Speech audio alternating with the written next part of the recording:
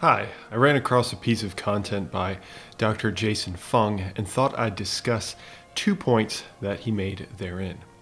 One that I agree with, and the other that I don't.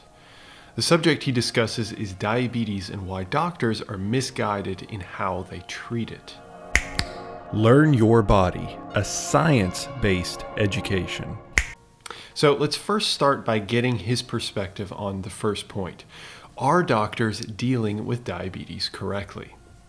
So in fact, over these years, despite what everybody tells you, your diabetes is just getting worse and worse and worse. So your sugars might go up, they might go down, but your diabetes is actually getting worse. And I think that's what confuses people a lot because they think that the sugar and the diabetes are the same thing, but they're actually not. But over the, that period of time, you can see that no matter what, it's actually progressing, and they say it's a progressive disease. So this is the thing that you have to understand, that the, the, the, sugars and the diabetes are actually two different things. So diabetes, the real heart of diabetes is the insulin resistance, okay? So that part is what's getting worse. The sugars is really just a symptom of the insulin resistance okay? But it's not the actual diabetes. The actual diabetes is the resistance to insulin and the subsequent very high levels of insulin. So diabetes is the same thing. The disease is about insulin resistance. But the symptom is the high blood sugar. And yet all our treatment is directed against the high blood sugar. Here he mentions a great point that the sugar and diabetes may be related, but the high blood sugar itself is not diabetes. The root cause is insulin insensitivity, otherwise stated, insulin resistance. So the drugs that many people take really just mask the issue by reducing blood sugar levels. And then people are deemed controlled diabetes, when in reality, the drug is just a patch that may increase insulin sensitivity, but only temporarily.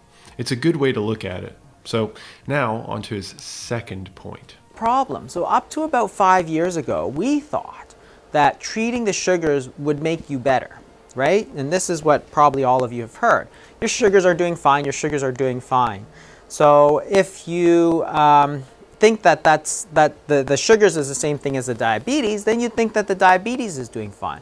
But it turns out about five years ago that they did three very large studies and what they found was that no matter if your sugars were well controlled or poorly controlled, it actually didn't make any difference.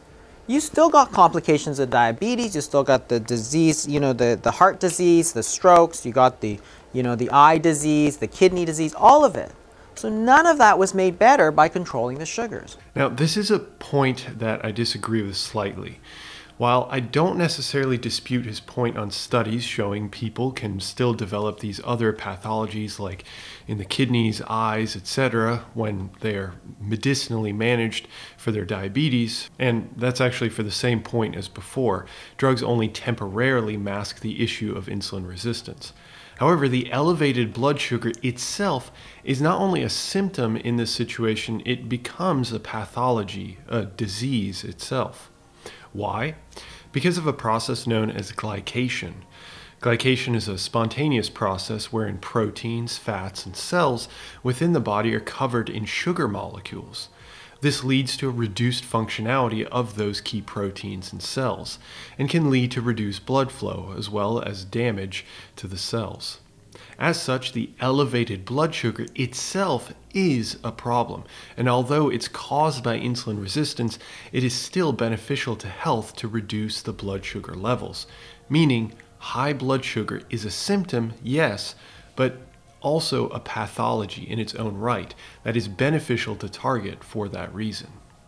Overall, I like that Dr. Fung addresses the issue because it is something that should be explained, and he does a great job doing just that. However, there are certainly some added complexities, like the branches from a tree of insulin resistance, that are left unaccounted for in his explanation. So I thought it was a good idea to cover this in a spotlight. I hope you gained something from this, and check out my other content on the topic, linked for you. Talk to you then. Cheers.